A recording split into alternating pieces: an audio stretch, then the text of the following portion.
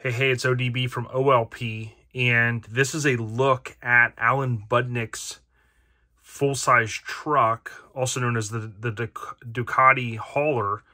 And what I want to do is I recently acquired this issue. It's an issue that uh, I had many years ago and for whatever reason had been misplaced. But May 1998, so 25 years ago this past May, this amazing creation basically graces the cover of Sport Truck Magazine, although there's a lot of other coverage of it. What I'm going to do is show you the feature here, then I'll show you some additional content that I've collected over the years in terms of the media exposure um, on this truck. So you can see here, pushing the envelope, page 96, again, Sport Truck. Now, um, we always give credit. Wes Allison shot this truck, and there's some additional footage that I'm going to show you, um, which I have acquired through Steve Nielsen. Now, if you guys follow us on Instagram and Facebook, you may recall I've shared video of this truck back in the day, and I'll wind the video down with that exclusive coverage. Um, now, this truck, believe it or not, you would think, well, wow, 25 years ago, what happened to it? The truck has very low miles. I know he went on OBS Talk and he talked about that. I think it was like 11,000 miles that were on this truck. It did surface again. Uh, if you had a chance to go to the Grand National Roadster Show, I believe this past February or January, February, it um, it did surface there. So they had they kind of paid homage to trucks. But this is pushing the envelope, which we saw in the table of contents. Budnik's Evolutionary CK Ducati Hauler.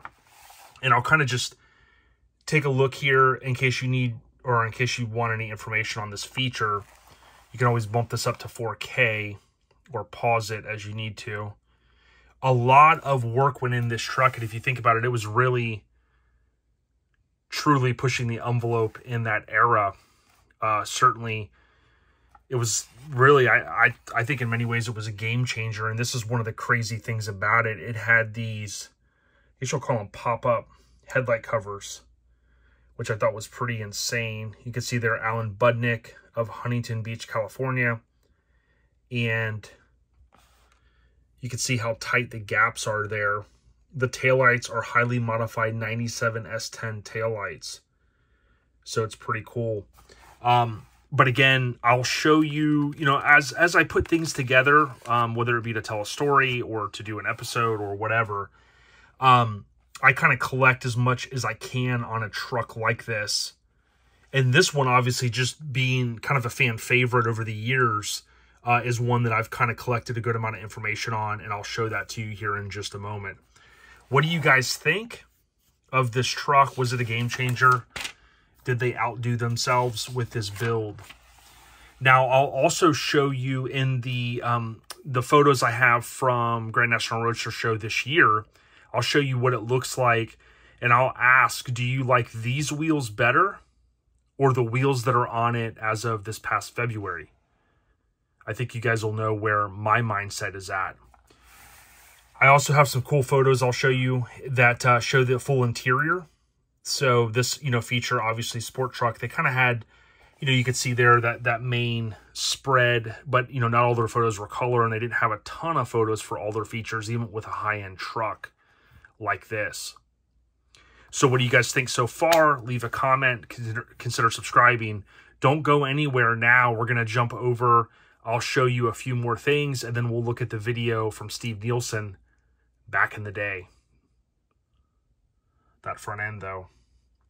Shout out to Wes Allison for shooting this one.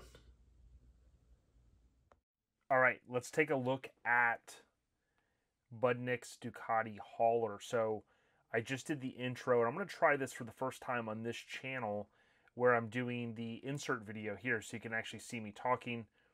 And don't forget to subscribe, as I mentioned earlier in the video, and also please leave a comment. Now, in addition to leaving a comment, if there's anything that you see that I didn't cover, if you know of another magazine, another feature, what have you, please certainly comment below because I'd love to kind of go dig in and find if there's any other media out there. So, to be clear, Sport Truck May 98, as I covered a few minutes ago, as well as Hot Rod Magazine October 98. So we'll look at that and more. So this truck got a ton of exposure, and I think if it was finished today, you know, obviously with social media and things like that, it would get even more. But if you think back to the 90s, this truck was at SEMA 97, if I remember correctly, doing my research. Uh, it also appeared in uh, vintage, uh, or well, now it's vintage, but this Budnik uh, catalog. So this is courtesy of Vintage Wheel Catalog's website. So if you've ever done any research and you've Googled old school wheels, um, I, like many of you, probably we, we had a ton of these catalogs, but this vintage wheel catalogs.com has a ton of great stuff. So you could see it here. And then this uh, screenshot here is from Budnik's website. So shout out to Alan Budnik. I know they've been in the business a long time. Uh, here you see where they mentioned back in the 90s, SEMA, Sport Truck Magazine cover. It kind of gives a high level, even some of the things that we're talking about now but you could just see how iconic this truck looked. I mean, this image right here, you look at and just go, wow, the freaking awesome. Now, Yada Yada Yellow was the title for this issue of Hot Rod Magazine. So uh, up here it does say Street Machine, and its pages, I think this is 92, 93. Uh, these uh, are scanned together, and basically what you're seeing is another feature. So you got to keep in mind that although it came out earlier in the year in Sport Truck, you would have publications that were still willing to run it, obviously, rightfully so. And this is what you see here. So maybe some of you haven't seen this feature before, but that's what it is, and that's the cover if you're looking to purchase this issue. Now, some of these miscellaneous photos I've compiled over the course of time these are from drivingline.com. And if you happen to do just a Google search of Alan Budnick or Budnik Chevy OBS, you will bring back most of these images, most of them. Now, this was at the Grand National Roadster Show earlier this year in 2023. They paid homage to the truck segment of the automotive world. And I know many RA members were out there you can see here uh, Joe's Suburban, and you see Alan Budnik's. Uh, per, by the way, perfectly positioned, red and yellow next to each other. I think that is just straight fire. Now, the majority of these photos, the ones I'm aware of, Wes Allison took. So if I know who took the photos, I will mention that. In some of these examples, I do not know who did this indoor photo shoot. I assume it was Wes but certainly Alan and the Budnik family may have hired whoever to do these. But again, you can just see here the hood cowl. Uh, you see the custom interior, you know, very hot rod themed. Uh, this front end was just always insane and uh, love the grill. Uh, just the headlights, the pop up headlights, the billet, just a great use of an OBS truck, in my opinion. Now, some of these photos you guys have seen in the past, there's the Ducati. I recall a classified when they were looking to sell this truck that the Ducati had something like 3,636 miles, which was kind of ironic. The truck is very low miles. I mentioned earlier, I think OBS Talk, when Ronnie had Alan on, or Mr. Budnik, he talked about the truck having, I believe, 11,000 miles, which is just insanity they talked about and you saw in the feature kind of the S10 tie-in to the taillights. So that's kind of the the mini uh, tie-in there, which was kind of cool. But the gapping is just to me is is amazing. I love how they sunk in the plate as well, kind of French the way it is, very hot rod themed.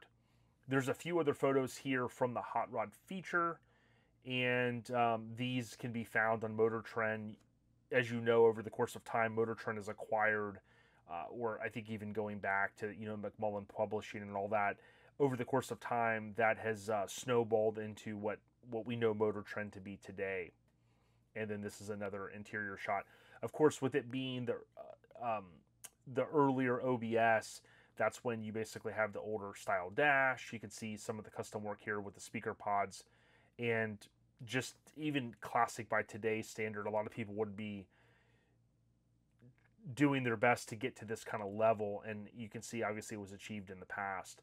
This is a photo from SoCal Custom. Shout out to Brian. I know he's kind of sunsetted his website, but there's a lot of good content out there. And you can see the difference in the wheels um, and what used to be on there versus what's on there. As you can imagine, if you own a wheel company, you could switch this stuff up every day if you wanted to. But they went with something a little bit more, I guess you could say modern, but uh, timeless definitely is the word that comes to mind when I think of the old setup. That's really the only thing I believe that's been changed. Uh, you can see here again a few more photos and the Ducati in the back. The Ducati, my understanding, when this truck unless it was a scam ad in the past, if and when it was for sale, they did mention the Ducati was going to come with it as well. And then here is just another non high resolution photo. But again, these are some that I've collected over the course of time. You can see the headlight deals are down here. Now, here's a few additional photos. Um, these were a little bit tougher to find, and I had to go kind of digging in my archives. Now, I apologize, I do not know who shot all of these, but you can see this is a very cool uh, photo here next to an Indy car. This is, I believe I saved when this truck was for sale. I don't know if it still is, but you can see here exclusive Budnik's new Chevy, May 98. That was the cover that I just showed you guys. But this is the plaque in the news plaque. Pretty certain because this is their style.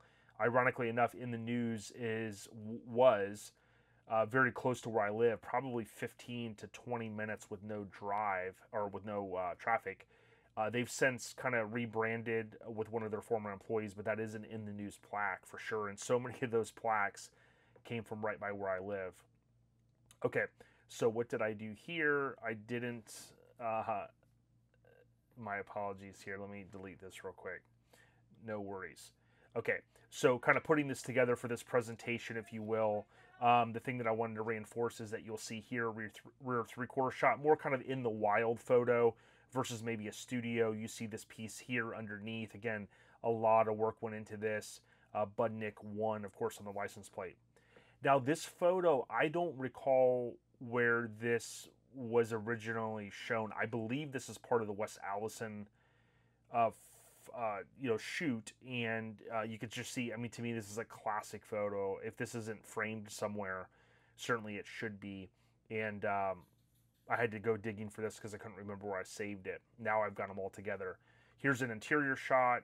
There's a, a, photo of the Ducati. This does look like something that was on the wall, so probably a nice, you know, in their um, facility. So that's kind of all that I have in terms of this truck. Now, if you think about again, SEMA 97, all the way now 26 years later, and then on the cover, May 98, boom, we passed that 25th anniversary.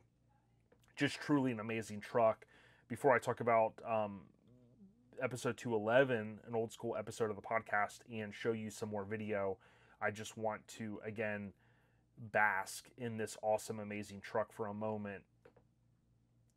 Truly amazing. So, if anybody from that team, Budnik, happens to see this, definitely two thumbs up. And it was great that it made it back out this year. I certainly loved seeing that through social media. Now I wanted to make it to the Grand National Roadster Show this this year in 2023, but I just wasn't able to.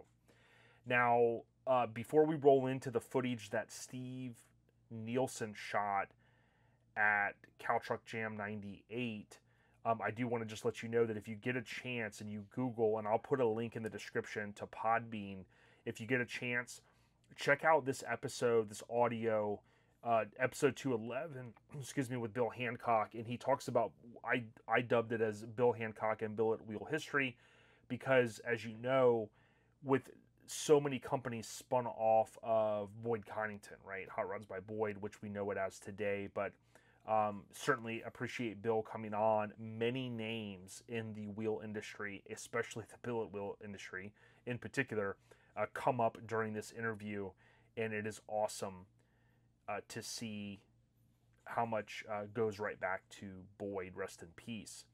So, with that being said, what do you guys think? Is there any other media that I could be missing? Maybe an obscure magazine feature that I just did not cover?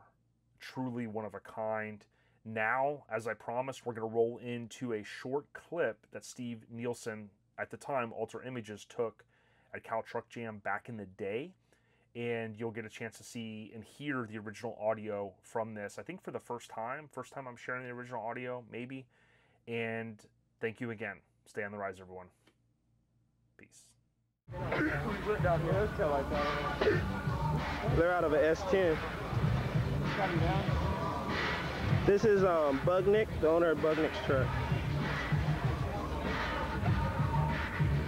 Got a Ducati in the back.